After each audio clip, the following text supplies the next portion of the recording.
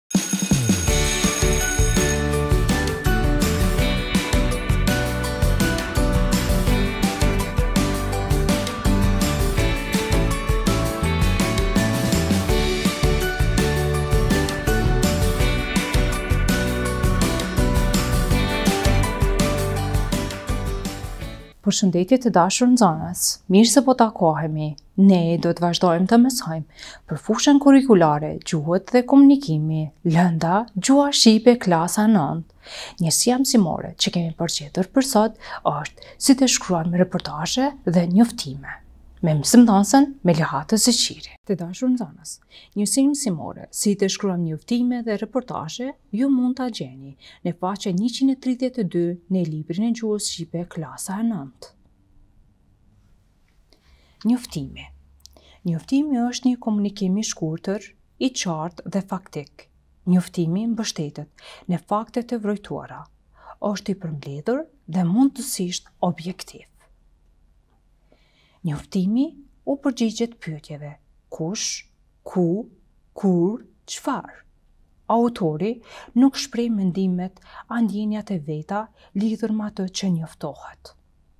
Me anën e njoftimit duam t'i mësojmë diçka lexuesit dhe jo të bashkëbisedojmë me të.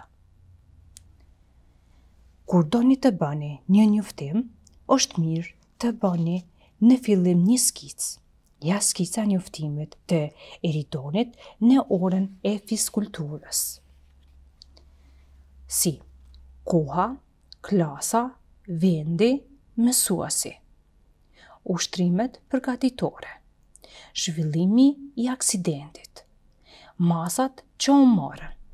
E të tjera. Njoftimet zënë një vend të rëndësishëm në mjetet propagandistike si radio, televizion, gazetë e të tjera.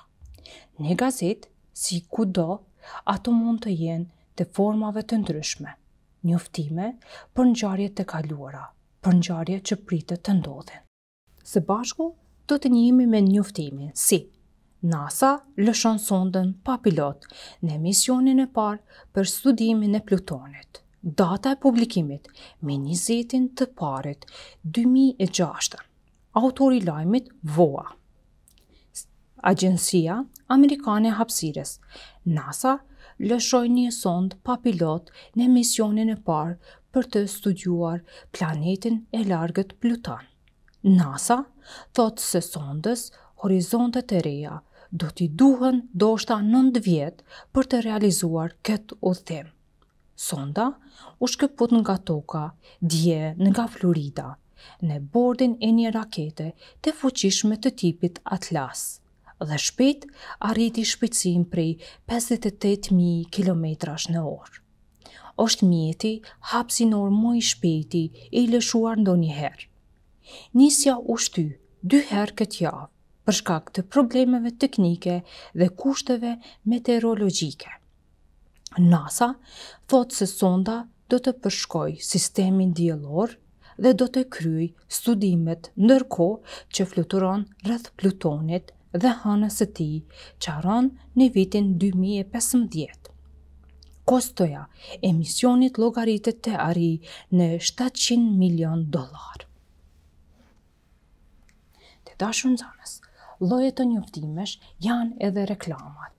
Në ekran ne e kemi paraqitur reklamën nga libraria Buzuku, e cila ofron një superofertë për tre titujt më të shquar të Franz Kafkës si Qyqi, Metamorfoza, Letër babait. Po ashtu kemi edhe kopertinën e librit Mendimet janë forcë.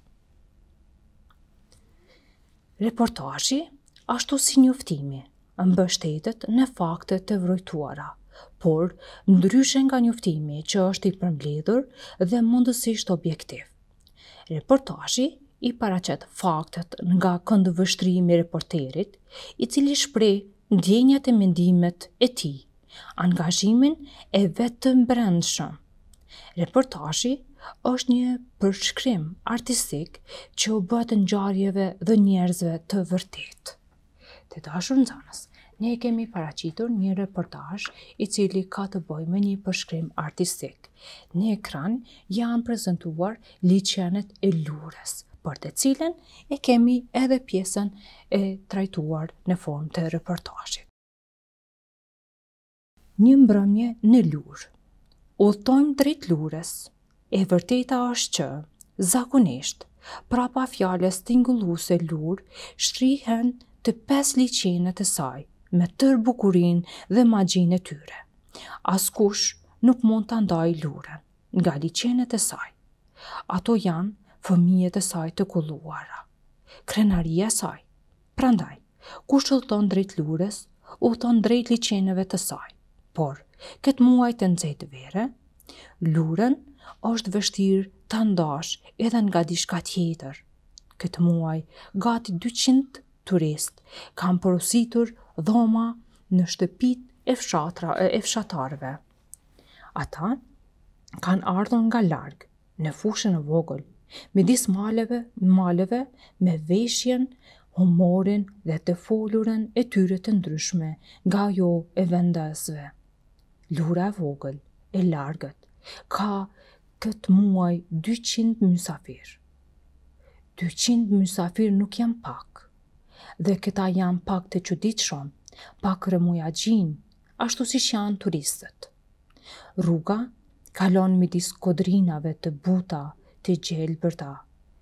Majë kodrave ngrihen kullat e gurta malësore. Dritare të ngushta, frëngjí, sharapolle për të luftuar. Duket sikur horizontet e hapura u vrisnin sytë këtyre kullave Ndaj, i kanë zvogëluar fare dritaret. Këtë gjë e kishte diktuar logjika e jetës. Pra, njoftimi është një komunikim i shkurtër, i qartë dhe faktik. Autori nuk shpreh mendimet a ndjenjat e tij lidhur me atë që njoftohet, kurse reportazhi i paraqet Faktet nga këndvështrimi i reporterit, i cili shpreh ndjenjat e mendimet e tij, angazhimin e vet të mbrendshëm. Si, pra, reportazhi është një përshkrim artistik që u bëhet ngjarjeve dhe njerëzve të vërtetë. Të dashur nxënës, për detyrë shtëpie, ne e kemi përzgjedhur pjesën Ushtrohemi, faqe 134.